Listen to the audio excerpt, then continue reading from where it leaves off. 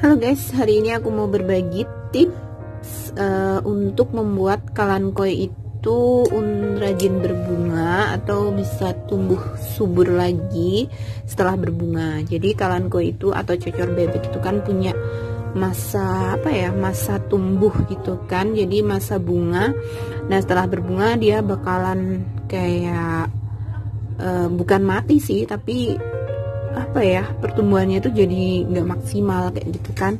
Nah di sini aku kasih contoh ya. Ini sebenarnya uh, pembungaan yang kedua gitu ya setelah dia pembungaan yang pertama kemudian dia bisa tumbuh bunga lagi. Ini aku, aku apakan ini aku potong gitu ya aku potong seperti ini nih.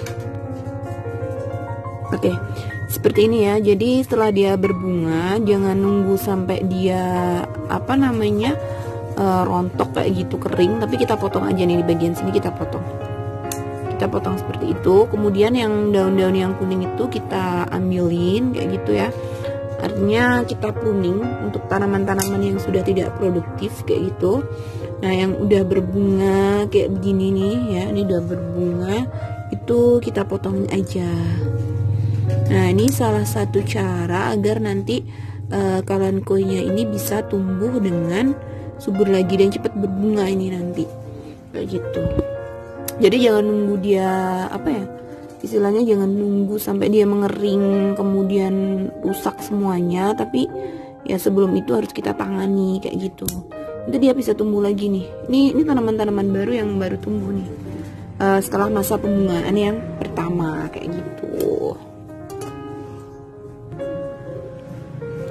Nih ya kalau ada yang seperti ini ini kita ambilin daunnya. Kayak gitu pokoknya daun-daun atau apa ya batang atau apa pun lah bunga yang udah nggak produktif kita uh, pruning aja kayak gitu. Ya sebenarnya ini aku udah terlambat sih untuk motongnya soalnya baru aja sempet. Seharusnya sebelum ngering kayak gitu kita bersihkan lah biar dia uh, nanti bisa tumbuh subur lagi gitu ya berdaun lagi berbunga lagi gitu. Jadi nggak nunggu lama pembungaannya kayak gitu. Itu penanganannya. Kalau misalnya tidak ditangani sih dia bisa ya tumbuh bunga lagi. Hanya saja waktunya itu lama karena nanti pasti uh, apa ya daunnya batangnya ya seperti ini dulu. Kan layu dulu gitu kan nanti dia jadi kerdil dulu gitu. Nanti akan aku kasih contoh deh yang kemudian aku diamkan gitu aja. Jadi kayak macam mana gitu ya. Oke nanti aku kasih lihat deh. Ini dibersihkan semuanya ya teman-teman yang uh, sudah nggak produktif itu kita bersihkan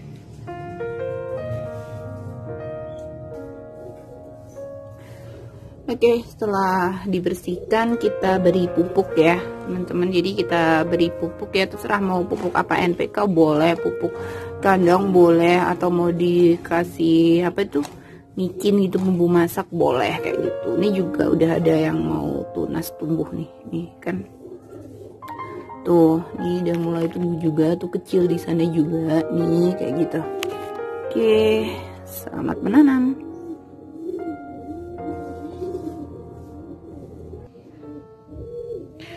Oke ini contoh tanaman cocor bebek yang lain. Dan ini kan setelah masa berbunga dia apa ya namanya udah nggak kelihatan bunganya lagi dia akan tumbuh daun kayak gitu.